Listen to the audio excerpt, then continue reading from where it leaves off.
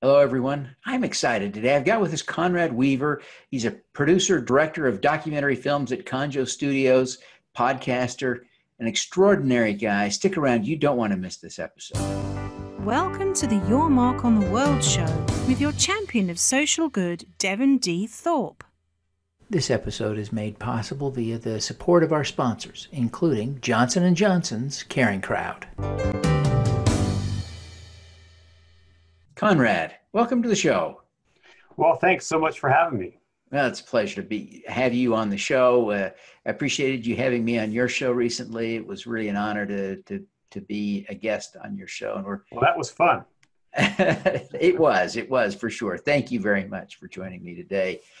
Um, I am so excited to talk about your new film. Uh, is it Heroin's Grip?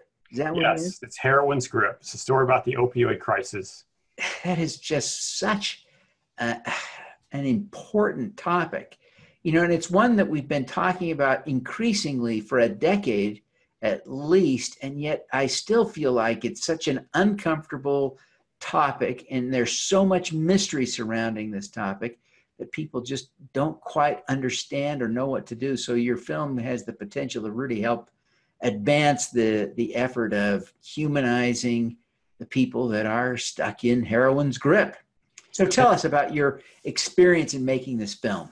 So, you know, I like to say that I was just a guy living in a neighborhood and doing my thing and not directly connected to anyone in addiction or caught up in this thing. And I kept seeing these stories in the news and kept hearing stories of local families who had lost their loved ones, their kids. And my kids went to high school with some of these people who lost their lives. And I decided I could no longer just sit on the sidelines and turn my head and ignore the problem. I had to jump in and get involved.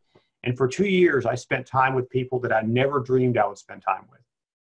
People that were using heroin, using opiates, uh, police officers who were going into you know scenes of overdose uh, events, uh, and EMS workers, and others who were on the front lines of this epidemic, and it was an amazing two-year experience.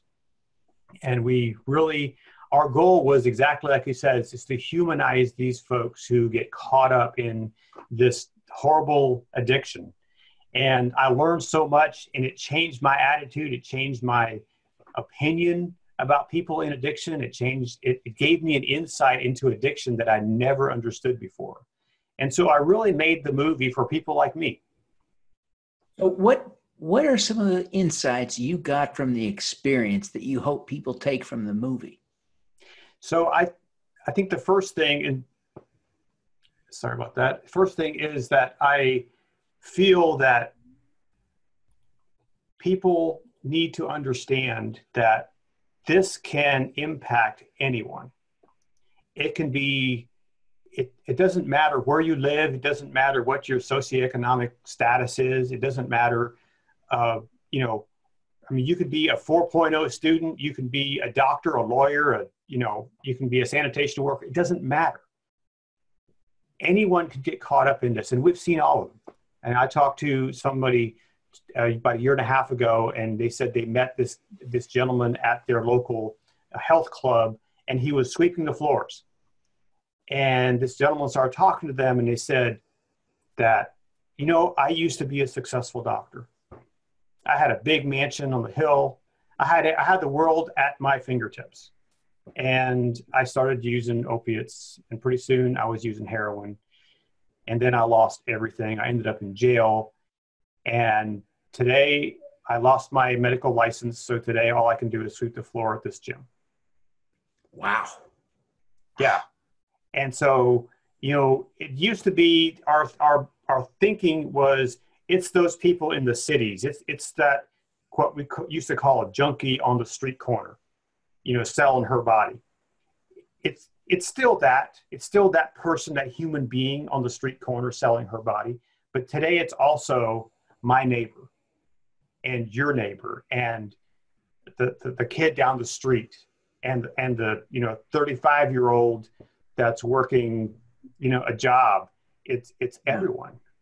It seems that that also gives us fresh insight into the heroin addicts we've always seen, the ones we've labeled junkies on the corner, uh, when you realize that doctor, lawyer, baker doesn't matter, you you get you, you play with this stuff, you're likely to get hooked, right? It is absolutely, and we we interviewed a doctor from Baltimore. He's a leading researcher in in the opioid crisis and in addiction, and he gave us the most vivid description of what happens in the brain when opiates hit the brain. And it's unbelievable how it literally rewires the brain. So you take heroin one time and it literally rewires the brain. So now all you can think about is where can I get that next feeling, that next high, that next. So it's like he said, so we all have things in our life that give us pleasure. Drinking a cup of coffee, having a glass of wine, playing baseball, just whatever gives us pleasure. And it, it and it kind of feeds us these small hits of endorphins that give us pleasure. He said what opiates do, it it feeds us a sledgehammer of endorphins. So you get hit with this big hit of endorphins, and that pleasure is the best feeling that you've ever experienced. And so now all you want to do is go back to that and to have that feeling again. The problem is you'll never have that feeling again at that level. And so you're just chasing that that high, that that feeling of pleasure and the more you use to chase that the more you have to use to try to hit those levels. And it just it's a vicious cycle. And pretty soon you're sticking needles in your arm and you're getting dope sick and you're selling your body or you're doing things you never imagined you would do to get that feeling. One of the things that i understand has been increasing the fatality rate is the introduction of fentanyl into the heroin market. Did you look at that? We we looked at it from the standpoint of it's what's causing a lot of overdoses. We didn't dive into the um, the real nitty gritty. We did talk about it briefly in the film that it's this fentanyl is coming over from China, mostly from what what it's called bucket labs. These these underground illegal laboratories that are that are you know making this stuff i mean it's purely chemicals that they're putting together to make this stuff and then shipping it over here. And really that is what's killing most people today. I talked to a gentleman a couple weeks ago from ohio which has been at the really the ground zero for a lot of this. And he said in his immediate area in ohio there have been no heroin overdoses or, or fatalities to speak of in a couple of years. It's all fentanyl. Wow and that's what's coming in. So they're mixing fentanyl's a lot cheaper than heroin, so they can mix it in with the heroin. And these tiny and heroin's not expensive. Heroin's cheap. Heroin's cheap already, and so now they're mixing in something even cheaper. And if the dosage isn't right, it kills you. I think on the streets of Salt Lake City, where I live, a uh, a hit of heroin would cost about you know five to ten bucks. Mm-hmm. Uh, is that what your research showed? That's probably be about right. Uh, you know, I know they say that in Baltimore you can get a gram of heroin, which is quite a bit of heroin, for about a hundred bucks. So, and I don't know how many, you know, how many injections that is good for but yeah. uh, it, will last a little while. Uh, here, where I live in Frederick County, Maryland, just 50 miles to the west, it's probably 150, 200 bucks. And so, consequently, most of the users are going to down to Baltimore to buy their dope. Because that's because it comes into Baltimore from the ports or from other places. And so, the reason, one reason it's so prevalent here in our region is because of Baltimore and the and the uh, the trafficking that happens there. Uh, so, uh, and, and the ironic thing is when users hear that a particular dealer is selling dope that is killing people, that's what they want. They want that because that's the good stuff. And oh. so they go buy this stuff that, oh, you know, this guy sold dope to people and three people died. Well, he must have some good stuff. And so let's go get that. And it's yeah. it's crazy that that's how it works. You'd think, you know, any other business, you know, you're kill you kill your customers, that's bad for business, right? Yeah. But in the dope business, it's just the opposite. wow. What else did you learn about the trafficking business as you were working on the film? You know, I spent uh, quite a bit of time with our local sheriff's department. I did ride alongs with them, and uh, they are looking for dope. You know, they, we, we set along the highway and we, we watch cars come by, and these guys are trained to spot the, the dope in the cars. Just, you know, traveling by at 70 miles an hour, they can spot it.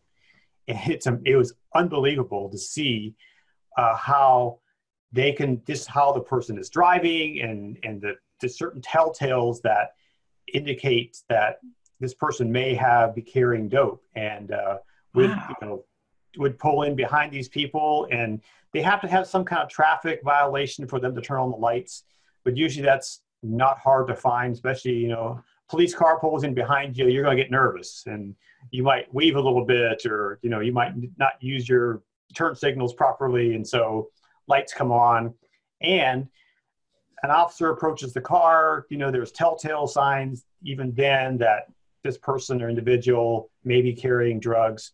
And so if they see those signs, then they can call for canine unit to come do a sniff test. And, you know, I, I was there when they found dope. And wow. this officer would say that this guy is carrying dope. I know he is. I know how he's acting. He's, he's got all the signs. So they bring the dog, and sure enough, they're carrying dope. And so, and, and so I 70 becomes a corridor coming from the west. So from states further west to, to Baltimore, uh, some of the heroin even comes in through shipping containers into Baltimore to the port. And so that kind of trafficking is, is prevalent everywhere. I mean, if you look at where heroin and overdoses are prevalent in America, you see it along the interstate systems. So north and south, I-95, I-75 through Cincinnati and up, up to Detroit, I-70 across the, the center of the country. That's the really the shipping lanes of where a lot of this dope is, trafficked from. Just a couple months ago, a state trooper here in Maryland pulled over a semi truck and they found one of the largest shipments of heroin that they ever found in, in our state. And they kind of had a tip that this was coming, and so they were able to uh, nail him. And they wow. Searched him, and sure enough, he had it on him. Wow. Let's talk a little bit about filmmaking, if you hmm. don't mind. Uh, sure. So, w- when you decided to make this film, you made a number of other films. You do corporate work and other work for clients who are paying you. How, what are the, uh, how's the business of this film made? Did someone pay you to do this up front? Uh, or how do you expect to be paid? So documentary work is always a challenge. Uh, it's, it's oftentimes a passion project. Uh, and this has really become a passion project for me because once I dove into it, it's like, okay, whether or not I raise any money to make this film, I'm going to make this film because it's such an important topic. And so, what I would do with all my films, I figure out who the stakeholders are. Who are those people who like this subject, who are involved in this this thing, and I go after them and I figure out, you know, ask them for money. I just say, hey, can you fund this film? We put together a business plan and and a, a marketing plan, and we pitch it to them, and we get uh, on this one, it's not investors, so these are donors, and usually we have a nonprofit that we run that funding through, so that uh, a business can write a check for ten thousand dollars and get a tax benefit from that. And so that's how I funded all of my films. And on the backside, we are just in distribution now for Heroin's Grip. We did a short theatrical run, and uh, we're now booking events around the country we are, and we get a screening fee for that, an honorarium for that. Uh, eventually, later this year, we're going to uh, launch it on Amazon, and so it'll be widely available on Amazon, so we can monetize that. And and uh, you know, I I have to pay the bills, so it's nice to get paid for my efforts. I spent two years. Uh, you know, we raised sixty thousand dollars for this film. It's it's it's just a drop in the bucket, really, what for what I really needed. because Yeah. the hours and hours and hours I spent on this film. And for two years, uh, I did a few other projects that helped pay the bills, but uh, you know, this is basically what I did for two years. And so, you know, fortunately, I have a wife that has a really good job. And, Good. and we uh, kind of her salary helps even out the ups and downs in my business. So, uh, uh, Uh, thank heaven. Thank heaven. yeah. Well, uh, Conrad, as you looked at heroin and uh, the opioid epidemic, um, what do you see as you come away from this experience as uh, the solution or a solution or a part of the solution? You know, from the beginning, my thoughts were this that the solution lies with all of us. You know, it's not a Baltimore City problem, it's not a Frederick City problem or a Salt Lake City problem, it's our problem. It's the community's problem. And we all need to work together to to help people who are suffering, to help people who are going through challenges and really looking at this, the reason people get into drugs is there's some kind of challenges in their life. There's there's pain, there could be be trauma, there's other things like that that cause someone to say, you know what, I'm going to try this to dull the pain in my life. And I think what we need as a society to do is to be there for each other, to support each other. Uh, just the other week we had a screening event at a, a, large church down the road here and there was over 600 people came to see this film and one of the families that's featured in my film attends this church. And another friend of mine came to me after the screening and he said i sit behind that family every sunday. I had no idea this is what they were going through. I had no idea the, the amount of pain and struggles that they were going through because of their son's addiction. And I think if so, therein lies that issue of stigma. So this family may not have talked about their issue because of the stigma behind addiction. Today, they're much more vocal. They've been in the film, so they're much more open about it.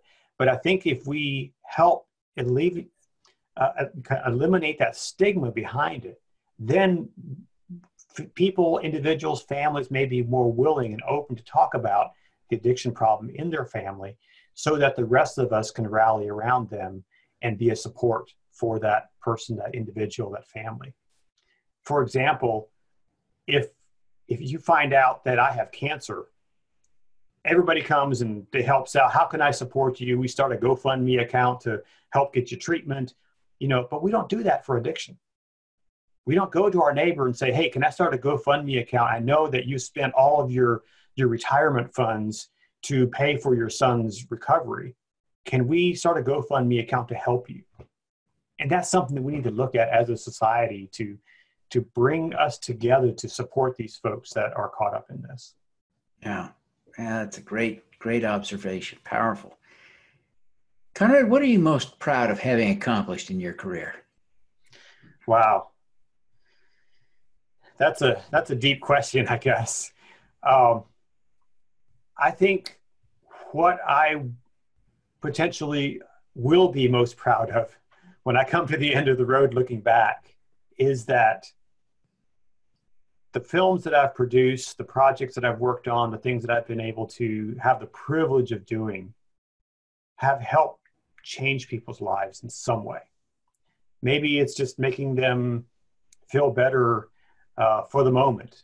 Uh, I, I, produced a documentary called The Great American Wheat Harvest. It's a story about these harvesters traveling across the country and and man, we had so we had thousands of people who just absolutely loved that film and it gave them like this nostalgic memory of their childhood of growing up on the farm.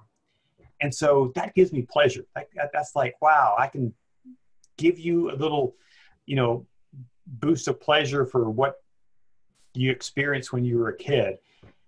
But ultimately, I think it's making a difference. If I if I can make a difference in one person's life, my goal with Heroin's Grip is if I can save one life, if I can if one person is alive because of this film, then I've it's worth all the pain and ter- you know, toil to go through it. Sure. Well, Conrad, you've had a, a great career. You've done and learned so much. What What do you think of as being the most important lesson you've learned? Hmm. I think one of the most important lessons I've learned is that people are resilient. People go through incredible difficulties. Whether you're a farmer in the wheat field in Kansas or you're a family that's going through addiction, someone in your family, people are resilient and they pull themselves up with the help of others and they keep going. Um, you know, there's so many things in our lives that can destroy us, that can just knock us down. And, but if we don't get up and pull ourselves up and keep going, then we lose.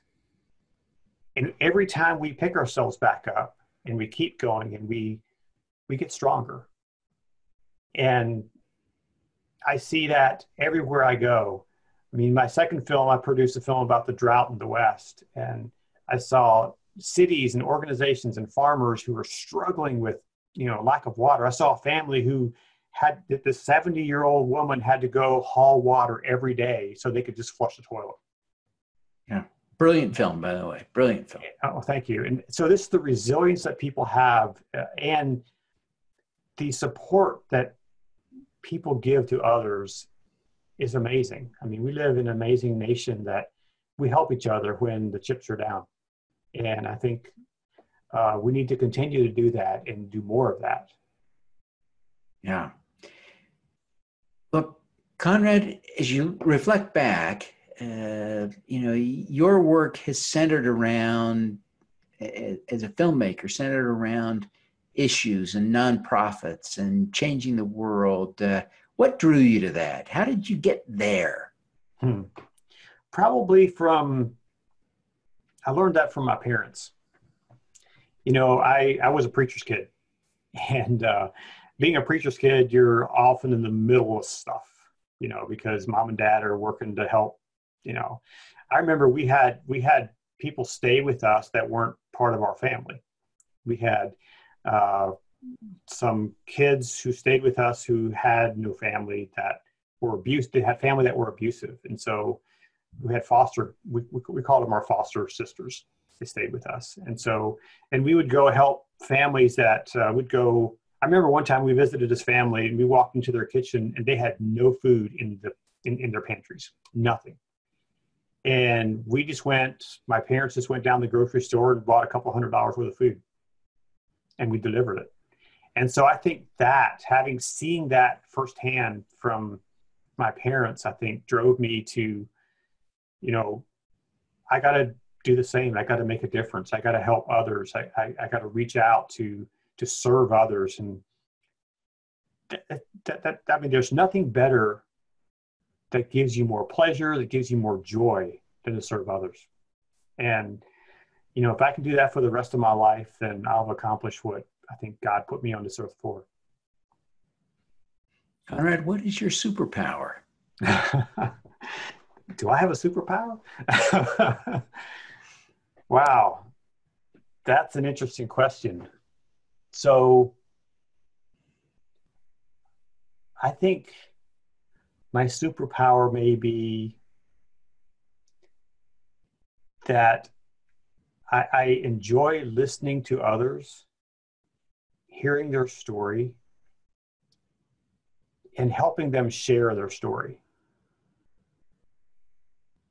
to make a difference. I think perhaps that's if there's a superpower like that, then that's maybe mine. it's a great superpower. Great superpower. Well, Conrad, thank you so much for making time for us today. We really appreciate it. Uh, before you go, would you take just a minute and tell people again the best way for them to see uh, Heroin's Grip, to connect with you at Conjo, uh, Conjo Studios, learn more about your work, and connect with you personally? Sure. So, Heroin's Grip, you can go to our website. It's heroinsgrip.com. and you can see our film trailer there. You can see where we're screening the film. You can even uh, sign a form to book a screening in your city. Uh, and we're taking those uh, everywhere. If people want to contact me directly, they can email me at conrad at conjostudios.com, conrad at conjostudios.com. I'm on Twitter. I'm on all the social medias, uh, Twitter, Facebook, Instagram, all that fun stuff. You can just search Conjo Studios, C-O-N-J-O S-T-U-D-I-O-S, and you can find me there. Or you can just Google my name, Conrad Weaver, and I generally, I think, pop up on the first page. So uh, fantastic. Well, Conrad, again, thank you so much for being with us today. We really appreciate you making the time for us. We wish you every success with the great work you're doing at Conjo Studios, and the uh, we wish you success with Heroin's Grip. Well, I really appreciate that. Thank you for having me on the show. All righty, let's do some good. Amen. Welcome to the Your Mark on the World show with your champion of social good, Devin D. Thorpe. This episode is made possible via the support of our sponsors, including Johnson & Johnson's Caring Crowd.